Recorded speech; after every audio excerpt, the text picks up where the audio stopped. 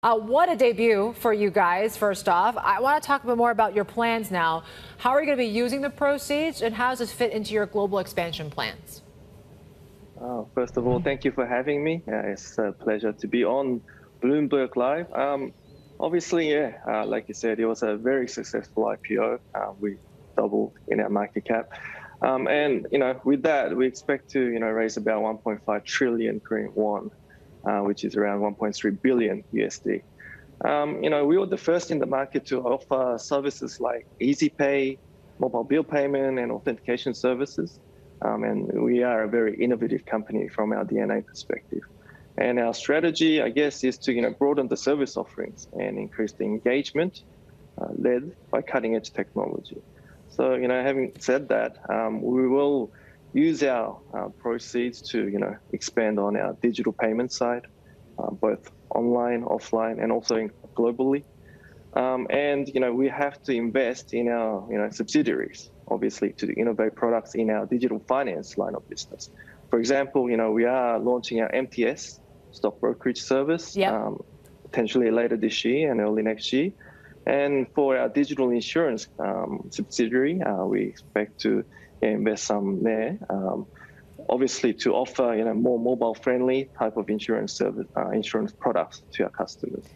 And you know, uh, going you mentioned forward, also with guess, the proceeds, uh, Kijoo, you, mm. were, you were looking to raise money to do some M&A as well.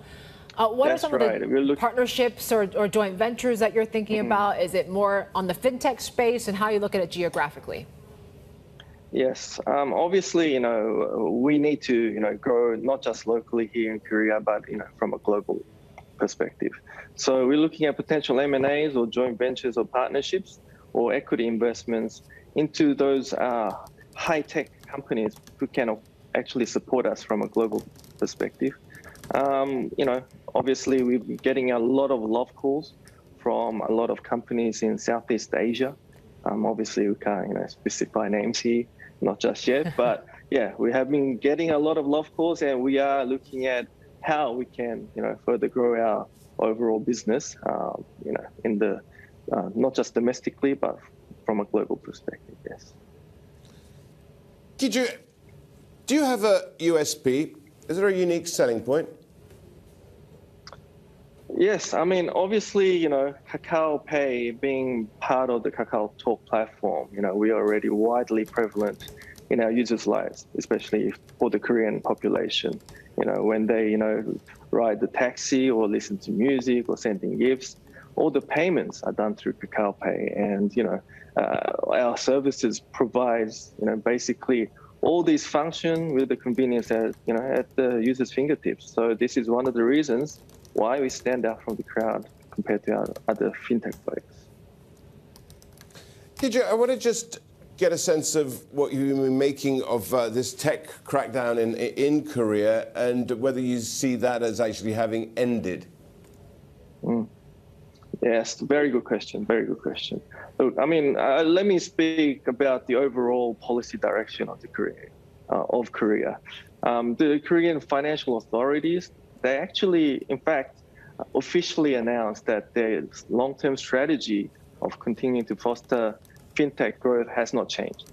Um, and recently, you know, strengthened regulations, which was, you know, Act on the Protection of Financial Consumers. So it was based on the consumer protection.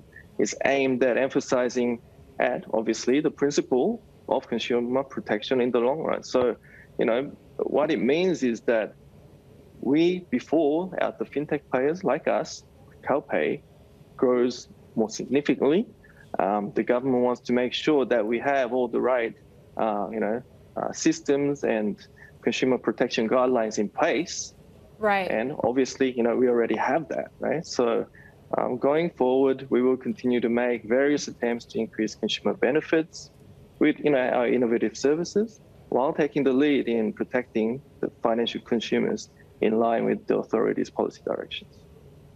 Right. Maybe you can go a little bit more specific. I, I have a quote uh, from one of the regulators who we spoke to recently uh, from the KFTC chairperson, and this is what she said. As platform companies grow big, some of them become gatekeeping monopolies and exploit that power, exerting a dual position as a judge and a player in the market. And the balance of power has broken. Your business model, Kijoo, has been mostly on the brokerage services. Also, you're planning to, as you talked about, expanding into the fintech or the financial businesses like insurance as well. Walk us just specifically, what are you doing to address those concerns that they're saying that you are a gatekeeping monopoly right now? well, I think you know that statement. I don't know. To me, is overstated. But uh, I think in basically what the government is saying that is before we get to that stage, right? From a Kakao Pay's perspective, specifically, uh, we have been always from the very beginning getting the licenses, receiving the license that is required to, you know, perform, uh, you know, our financial business. So, for example, we ha already have the license for our uh, uh, investment securities license. We already received the license, our brokerage license for our loan services. And, you know, going forward, you know, we have got the preliminary license for insurance. And, you know, we hope to get the official license by end of this year or early next year. So we are taking the, you know, correct steps to build our business based on the, you know, specific guidelines from the financial yeah. regulatory perspective. So I don't think, you know, we have an issue there at all. How, how has it changed the business model then, Kijoo? Is it going to impact the company's future growth? Can you still continue to make money? No, not at all. Basically, you know, the only change that you know we made um, due to the recently announced policy was that we needed to make sure that our consumers and our users understand who is brokering or who is selling what products. So, for example, for insurance, we made sure that you know, it was very clear that it was our subsidiary, Kakao Pay Insurance Services, uh, selling those products.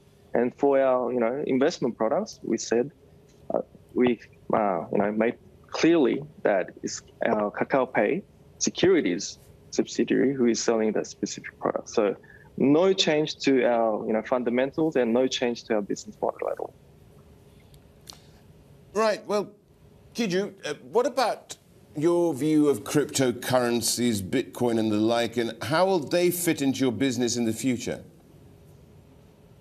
Oh, um, that's a very interesting area even for us. Um, uh, being part of a fintech company, we've already, you know, been very uh, studying uh, deeply into the fintech, uh, to the you know, cryptocurrency business. Um, but there are many factors that we need to consider for example, you know, the domestic regulatory environment, uh, you know, which we've been talking quite a lot about recently. So, um, from Kakao Pay perspective, we actually highly value our blockchain uh, as a technology, and you know, we actually started R&D in blockchain since 2015, and in 2017 we officially launched a commercial business, which is our authentication services, based on blockchain. Uh, it was actually based on mm-hmm. Bitcoin, right? So we've been, you know, not just tinkering with it or starting with it, but we've been actually commercially rolled out. So um, obviously, you know, as you know, the Bitcoin price has skyrocketed, so we can't use Bitcoin anymore. So we're using Klaytn at the moment to run uh, uh, run this business. But you know, to go global, I think you know, obviously yeah. you made, you know, the, you had a question on the global uh, side of the business. We think that you know this blockchain technology can be the medium for cross-border services, right? So Kijoo, uh, it's a very, uh, yes. You talked a bit about your mobile trading uh, system that you're going to mm -hmm. be mm-hmm. launching early next year. Uh, first of all, can you tell us a little bit more about targets that you have for users uh, when it comes to sales targets right now, and what are some of the major challenges uh, that you have to overcome before you launch this? Well, you know, with our securities uh, subsidiary, we already have more than 6 million users already um, on board uh, with a securities account.